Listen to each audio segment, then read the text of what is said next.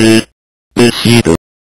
和，效法和老精神，打造心中盛唐，留下永恒足迹的一个的传，一个唐山过，台湾开荒道路。平凡中透显着不平凡的传奇人士，凭着对道的诚心，凭着背负着何丹元成师尊之母普渡三曹的矢志志愿，拥抱着满腔的慈怀与使命感，毅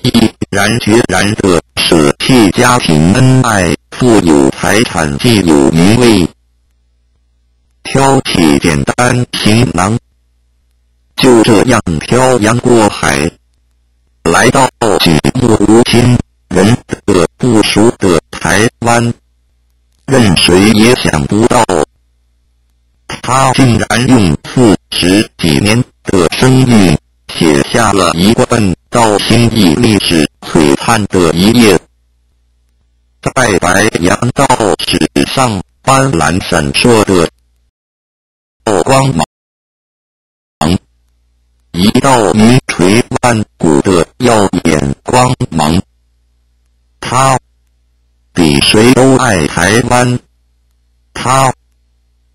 是当代的圣人，他是我们如沐敬重的河中好老前人。时值河东好老人百岁诞辰继承到十七周年纪念，缅怀何老前五十年前来台披荆斩棘筚路蓝缕开荒道。路的这段历史，中一座座新法会运传承的盛唐。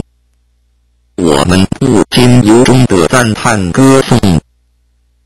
这是一个奇迹，一个可歌可泣的奇迹，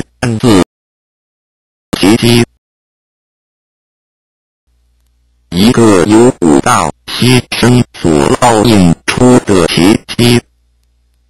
我们已曾经拥有这样的一个领导老者为荣。我们以他老的金标杆，是第三，已完成其未尽的一致未终极标的，我们伤痛前人